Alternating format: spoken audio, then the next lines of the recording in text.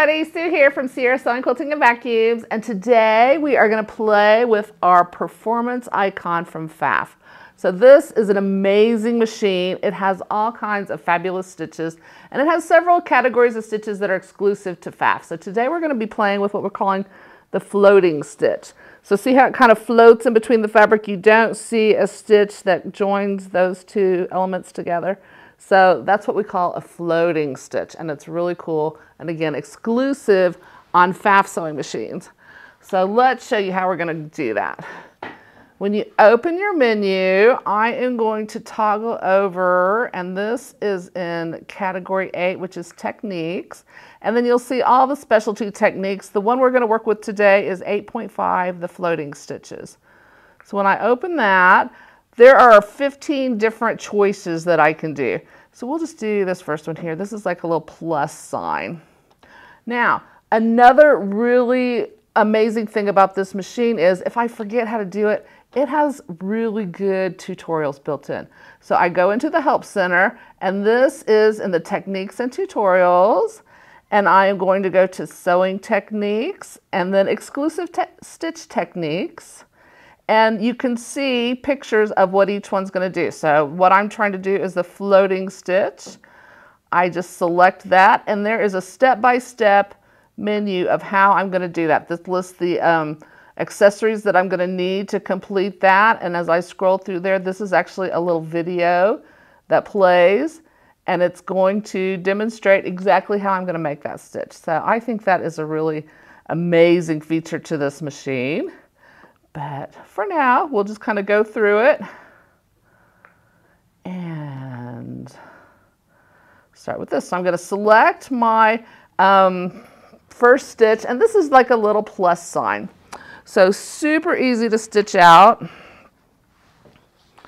What I'm going to do, I've just got a piece of fabric here, and I'm going to fold it where I want those um, floating stitches to be. And I'm going to put a little strip of stabilizer behind that because that's going to keep it all nice and flat.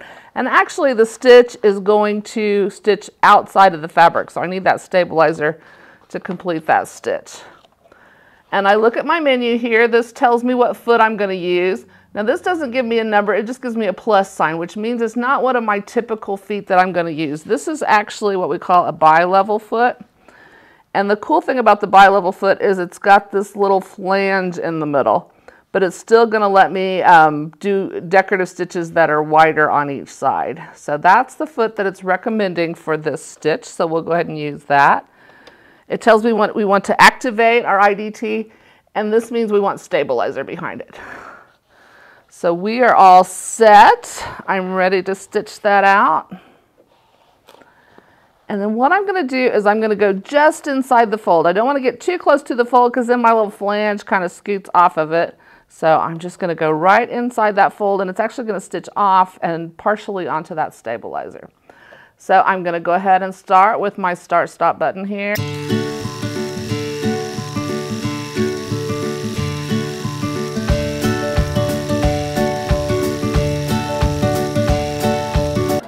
And then when we get toward the last stitch, I can touch my scissor icon and it's going to complete that last stitch, tie it off and cut it.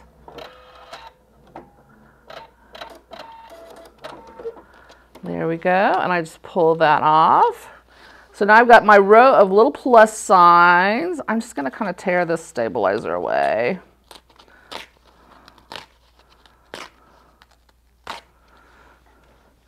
And then this is where the magic happens. When I open this up, when I unfold that, you see all those plus signs that it stitched out. Is that not cool? I love that. So there it goes, just like that. So this is what I did when I was playing around at home, just some scrap fabric, but um, I used some of the different stitches. Some of them are just bar tacks. Some of them make little stars. We've got little bows, little circles. But I can imagine this as like the top of a little girl's dress, maybe. I don't know. I would pre-stitch out the fabric before I cut it out. But isn't that fun? And then here is another use for those floating stitches. I can use that to join two different pieces of fabric. So instead of folding it, I'm going to take this And I am just going to add, let's do another white strip over here. And again, I've just cut little strips of stabilizer to stick behind here because you just need a little skinny piece. Uh, get that lined up there. Let's pick a different stitch this time. So I'm going to scroll through here. Let's do, I don't know, I like these little bow ties. Those are fun. So this time, since I'm joining this seam, I want to go in a little bit farther. So I'm just going to use the edge of my foot against the edge of that fabric as a guide. Again, just with my start stop button.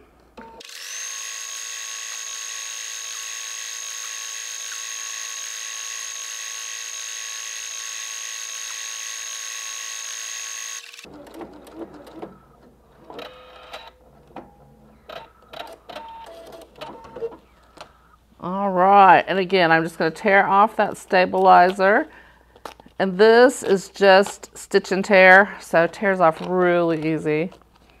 I used to worry about getting every fiber of it off, but when I realized when you wash it, it just kind of goes away anyway, I don't worry so much about all that anymore.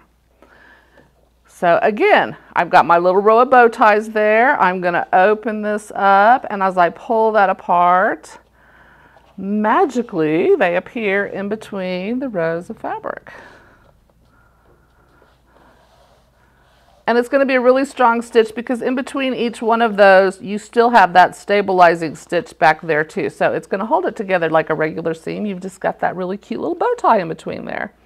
So anyway, I think that makes a great piece of fabric to use for something. I can't wait to see what I figure out to do with this one.